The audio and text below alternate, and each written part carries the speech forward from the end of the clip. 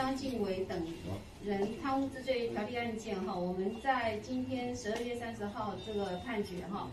张敬伟跟呃黄明兴、周胜伦哈，他们原先都是服务在南荣路派出所，那黄明兴后来是调到了八堵派出所。那在这个我们说黑道哈，就也就是说在跟毒品有渊源的那个被告叫做于梦修，那他是跟这个张敬伟呢，他们是呃提保生哈提保生，然后所以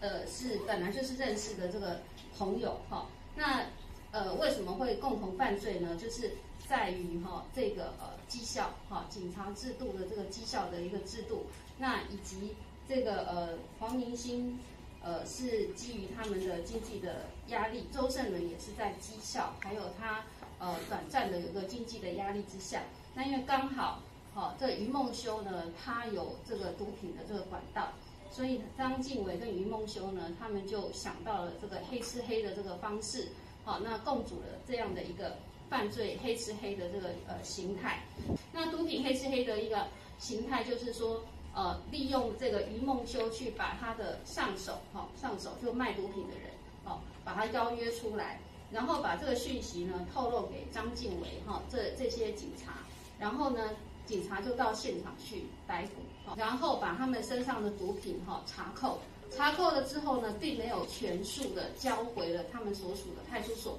而是把它分装，哈，分装了这个呃。倒出来的这个一半了之后，剩下的一半就用砂糖去做混充。